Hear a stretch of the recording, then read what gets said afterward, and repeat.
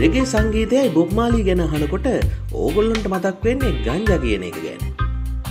හරිම සිංහලෙන් කිව්වොත් ත්‍රයිලෝක විජය පත්‍ර. අද අපි කියන්න යන්නේ ලෝක පුරා අප්‍රේල් විසිවනදා සවස හතරයි විස්සට සමරණ ලෝක ගංජ දිනය ගැන. කැලිෆෝනියාවේ මැරින් කවුන්හි සැන් රැෆියල් නම් උසස් පාසලේ මිතුරන් කණ්ඩායමක් සිටිය.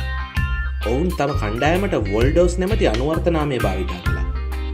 මොහොන් පුරුද්දක් කරගෙන තිබුණා තම පාසල අසල තිබුණු පාශ්චරී කරණය පියා ලෙස හැඳින් වූ ලුවී පාශ්චර් වෙනුවෙන් තැනූ පිළිමයක් අසලට සෑම දිනකම සවස හතරයි විස්සට එකතු වී ගංජපානය කිරීමට.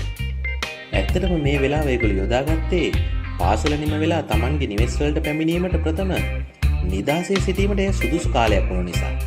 කෙමින් කෙමින් මෙය ප්‍රසිද්ධ වූ අතර ලෝකයේ සියලු පොලිස් ස්ථානවලද ගංජ සම්බන්ධයෙන් දැනුම් දෙන කෙටි සංකේතය හතරයි විස්ස ලෙස ලෝපුරා ප්‍රචලිත වුණා.